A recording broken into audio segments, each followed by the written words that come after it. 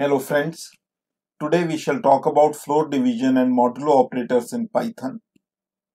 Floor division and modulo operators are easy to understand when only positive numbers are used as operands. But these become confusing when one or both operands are negative. Don't worry. In this video, I will make these easier to understand for all kind of numeric operands. For this, first we shall understand floor method of math module then we shall understand the difference between normal division and floor division. Then we shall understand the floor division and mod operators for positive and negative integers. And then floor division and modulo operators for positive and negative floating point numbers. This sequence will clear all the doubts and confusions regarding floor division and modulo operators. Let us start with floor method of math module. The floor method of math module takes a number, say x, as a parameter and returns the greatest integer not greater than x. This is same as the greatest integer function in mathematics.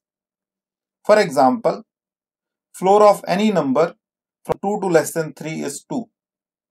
So, the floor of 2 is 2, floor of 2.0001 is 2 and the floor of 2.9999 is also 2.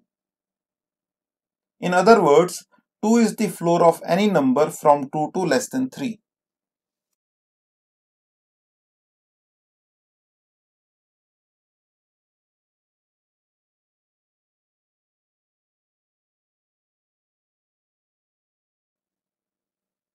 Similarly, 3 is the floor of any number from 3 to less than 4. In general, an integer is the floor of any number starting from itself till but not including its next integer. Or we can also say that an integer is the floor of all the numbers till but excluding the next integer to its right on the number line. This rule is applicable to all the numbers, positive or negative. For example, floor of all the numbers from minus 3 to less than minus 2 is minus 3. Similarly, minus 2 is the floor of all the numbers from minus 2 to less than minus 1.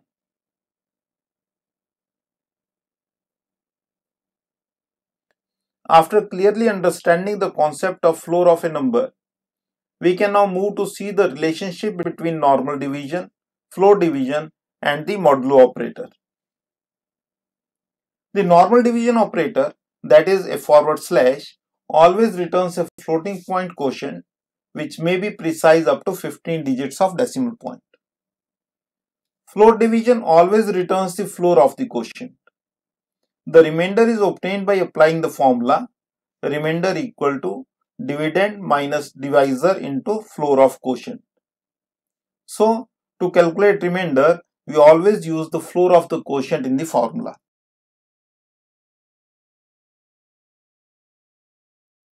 Let us now see how floor division and modulo operators work with positive and negative operands.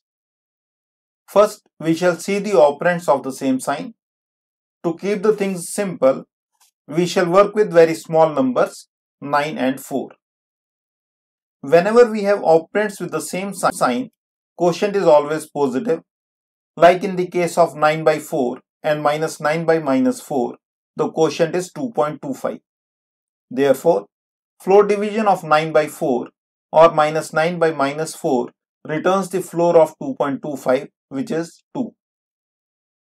Now to calculate the remainder, we apply the formula remainder equal to dividend minus divisor into floor of quotient.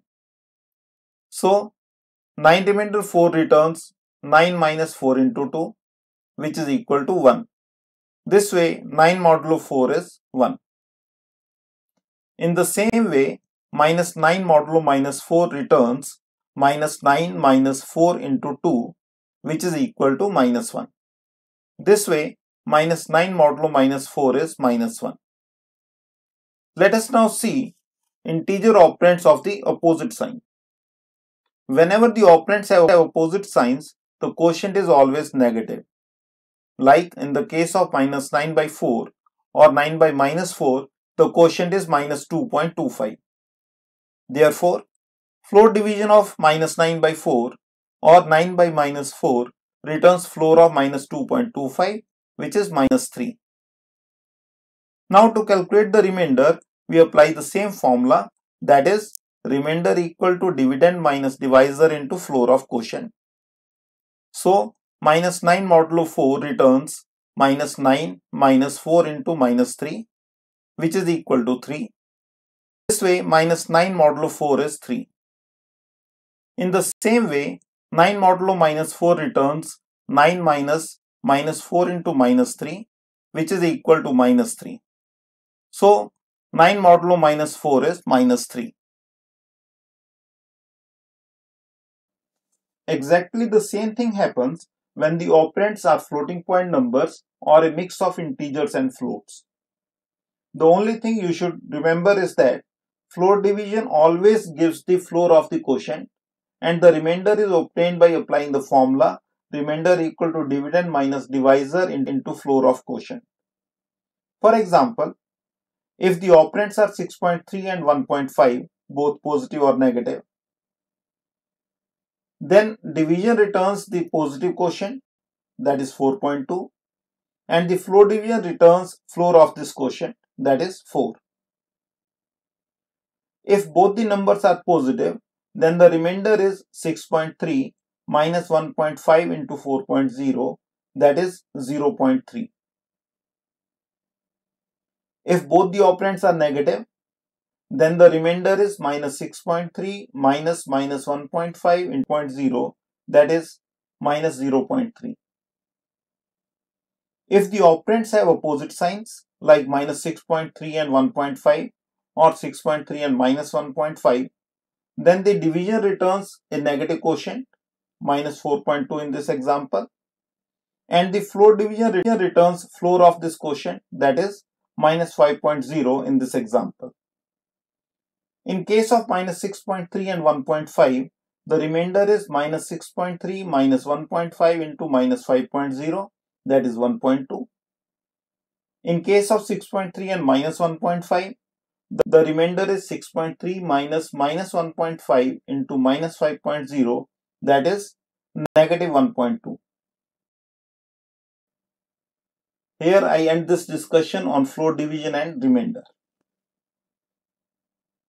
You can take this small exercise to practice floor division and modulators. The recommended way to take this exercise is to first evaluate all the expressions manually and then verify your answers by evaluating these on some Python platform. That's all in this video. Don't forget to press the like button if you like the video. Please subscribe to this channel and share it. Write in comments what other topics in Python would you like me to cover.